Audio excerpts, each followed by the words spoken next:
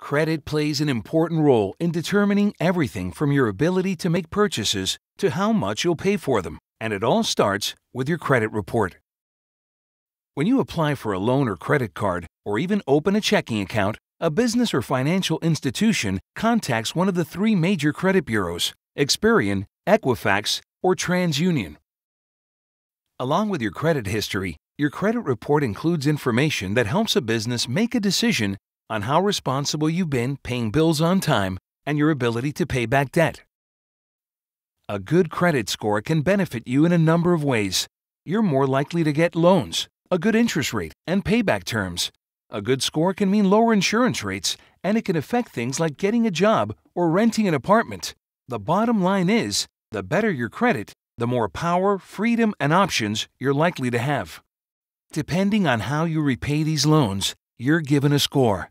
The most common score is the FICO score. Factors determining your score include everything from payment history to types of credit used. Each factor carries its own weight in calculating your FICO score. For example, payment history and total outstanding credit owed account for 65% of your score. It is important to make your payments on time and keep your credit balances low. Set up automatic payments to avoid missing payments.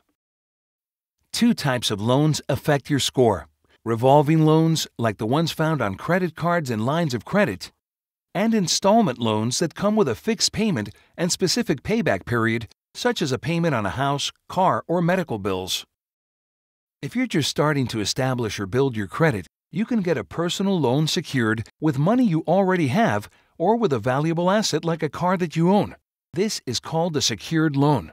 You can also apply for a credit card or take out a loan with a cosigner. There are always steps you can take to improve your credit score. Start by making a list of all your debt, sort it by old and new debt, then set up a payment plan that allows you to create a history of making payments on time. Also, don't exceed your credit limit on any account. In fact, it's best to stay at least 50% under it to improve your credit score. It's a good idea to keep your oldest accounts active but limit the number of open accounts you have and the number of new credit cards you apply for within the same time period. Acquiring too much debt within a short period is a concern for lenders. When you buy large items like a car, you can shop around with confidence. Credit bureaus will group similar credit inquiries so they don't negatively impact your score if they fall within a 30 day period. It's important to keep your payment commitments. Late payments or lawsuits are retained on your account for seven years. Bankruptcies can stay for seven to 10 years. But positive information can stay indefinitely.